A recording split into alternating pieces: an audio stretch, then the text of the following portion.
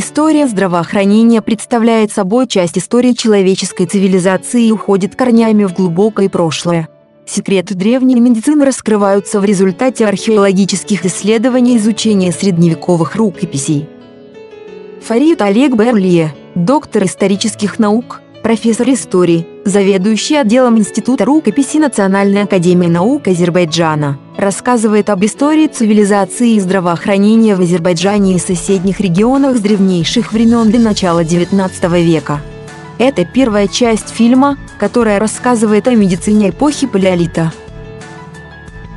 Азербайджан расположен на Южном Кавказе рядом с древнейшими центрами цивилизации Среднего Востока.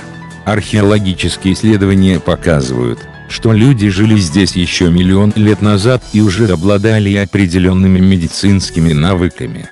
С этой точки зрения объекты, найденные в 1960-х годах археологом Мамедали Гусейновым в Азыхской пещере и в долине Гуручая представляют особый интерес. Археологи обнаружили орудия труда возрастом около 1 миллиона лет, а также предметы, изготовленные людьми, жившими 400 тысяч, 200 тысяч лет назад. Древние люди верили, что магия и колдовство могут помочь в борьбе с различными заболеваниями, что подтверждается археологическими находками в Азыхской пещере, включая тайник с черепами пещерных медведей загадочными насечками на их поверхности. Такие алтари были найдены и в других пещерах по всему миру, и связаны с существовавшим в Верхнем Палеолите культом медведя. Алтарям с черепами пещерных медведей поклонялись в надежде на удачную охоту, сохранение сил, здоровья и исцеление от заболеваний.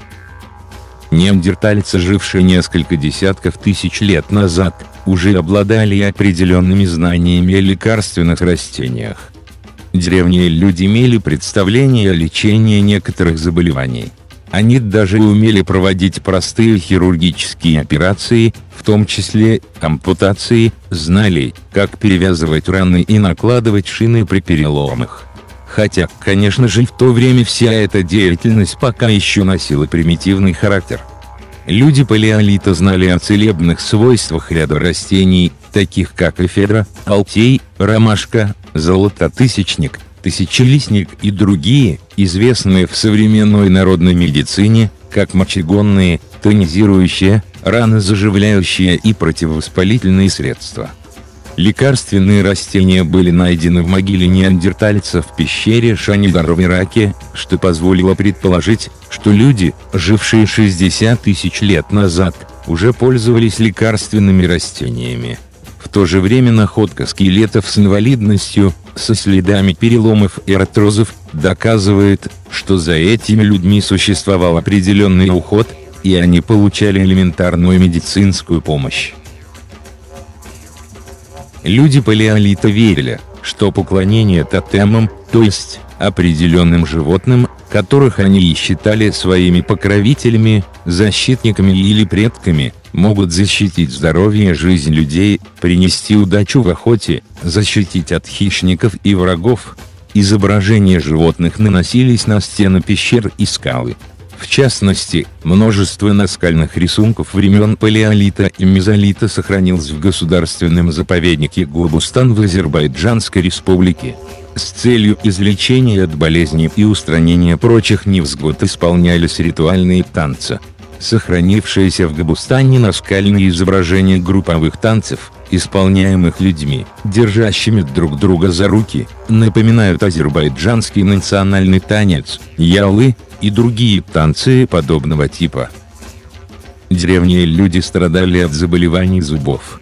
В конце 60-х годов прошлого века профессор Азербайджанского медицинского университета Дамир Гаджиев и впоследствии Рабия Касимова изучили остатки зубов при неандертальца на фрагменте челюсти, обнаруженной в пещере Азых в Карабахском регионе Азербайджана.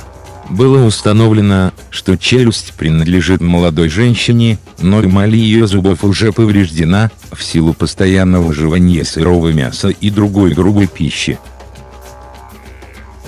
Люди каменного века уже знали, как удалять зубы, умели убивать зубной нерв и заполнять пломбу из воска дупло поврежденного зуба.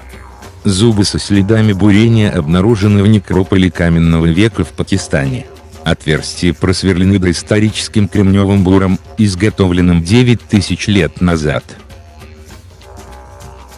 Состояние здоровья людей палеолита в Азербайджане в значительной степени было связано с характером их питания, то есть с регулярным потреблением богатой протеином мясной пищи, а также дикорастущих плодов, орехов, трав, ягод и кореньев. Такую диету у людей древнего каменного века принято называть палеолитической.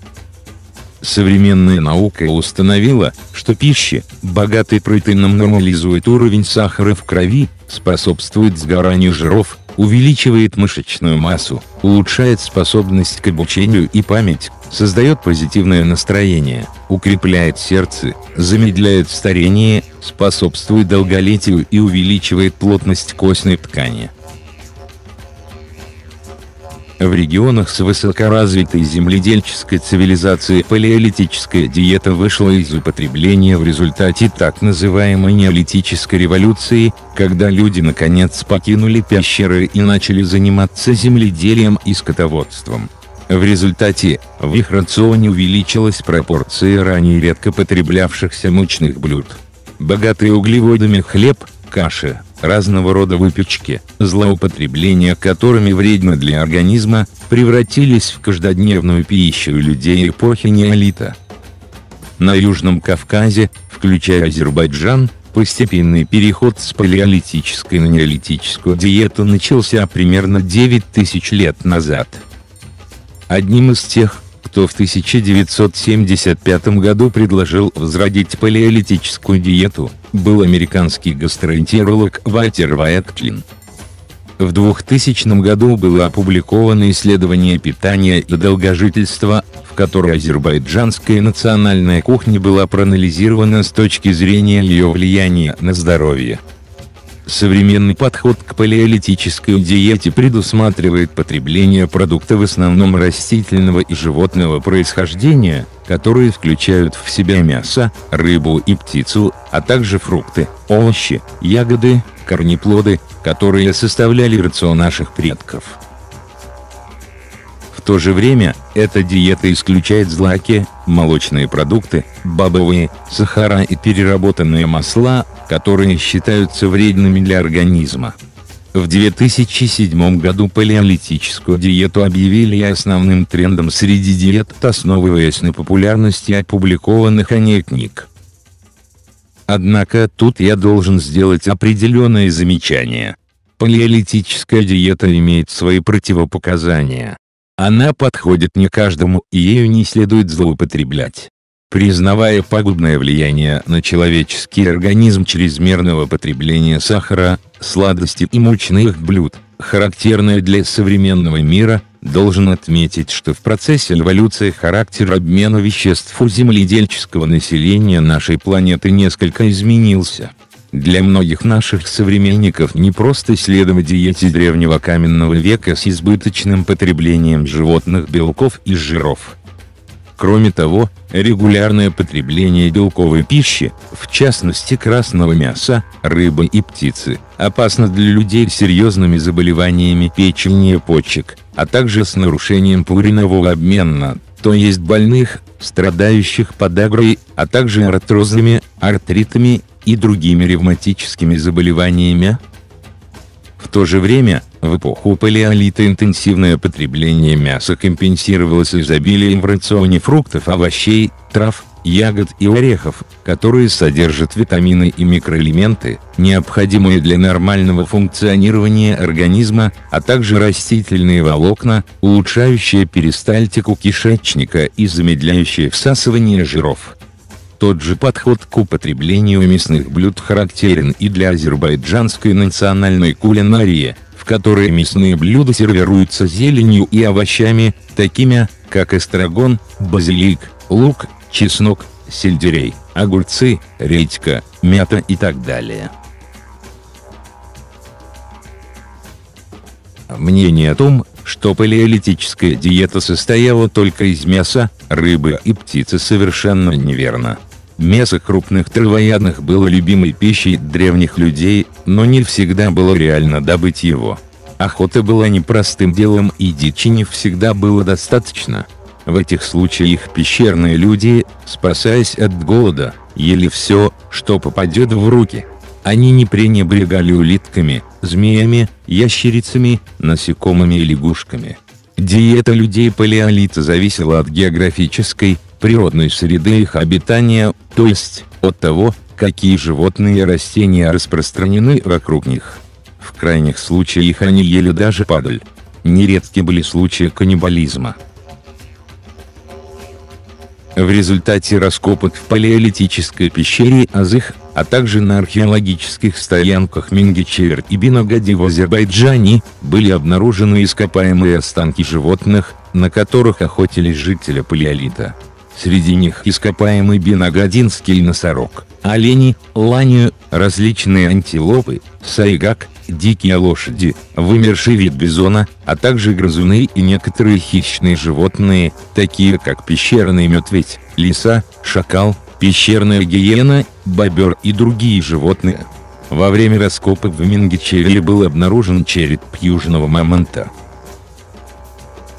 Жилы, шкура и кожа животных использовались древними людьми для перевязки переломов и ран, Жир применялся как смягчающее и заживляющее раны средство. Кровоточащие и гнойные раны, а также болящие зубы прижигали огнем.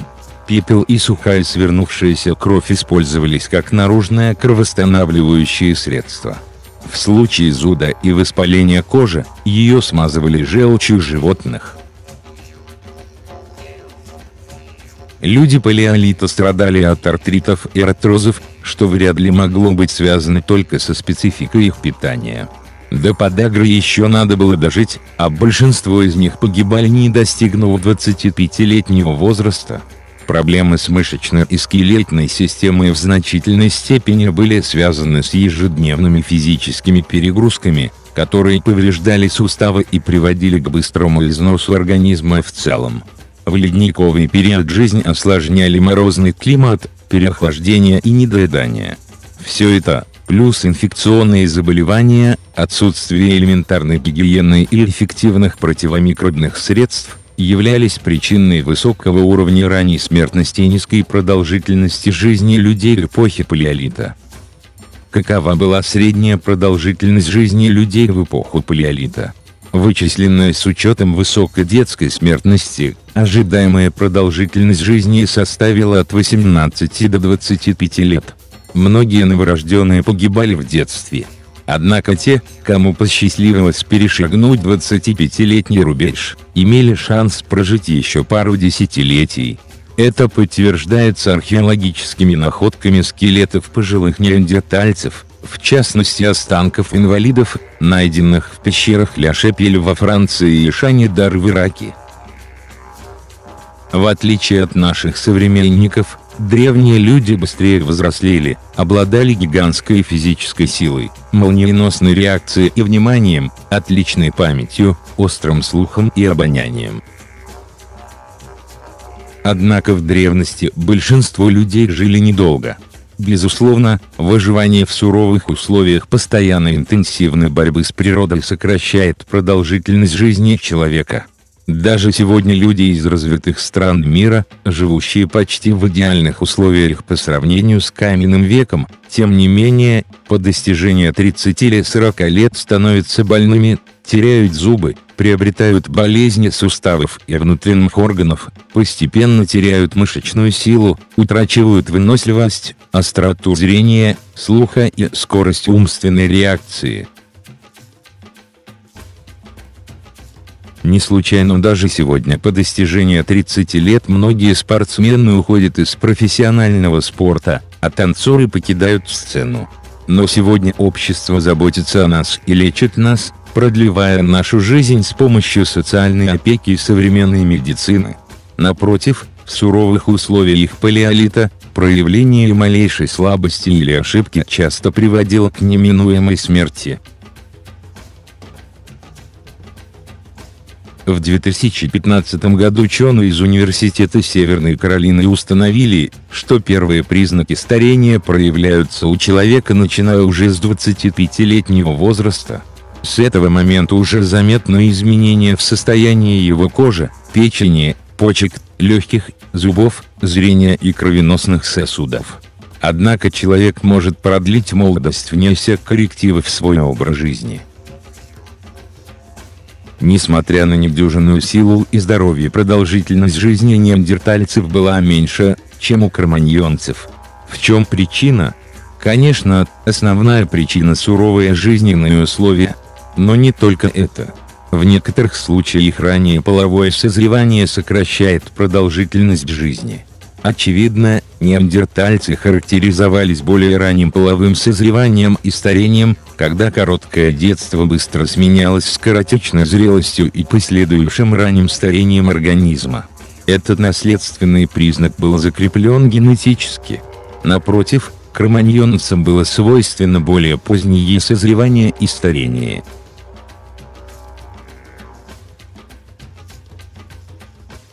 Объем мозга как неандертальца, так и кроманьонца превосходил объем мозга современного человека. Однако суровые условия существования, короткая продолжительность жизни и отсутствие письменной культуры не позволяли им активно усваивать, хранить и передавать следующим поколениям необходимые знания. Это одна из причин ограниченности мировоззрения, медицинских и иных знаний людей палеолита. Несмотря на то, что большинство людей в эпоху палеолита не доживало до 40 лет, иногда встречались и более пожилые индивиды. Это могли быть люди со сверхмощным организмом, или просто те, кому повезло. Со временем молодые сородичи стали отыкать их, потому что старики являлись кладезем полезной информации, жизненного опыта, практических навыков том числе в области оказания элементарной медицинской помощи, и могли давать полезные советы молодому поколению.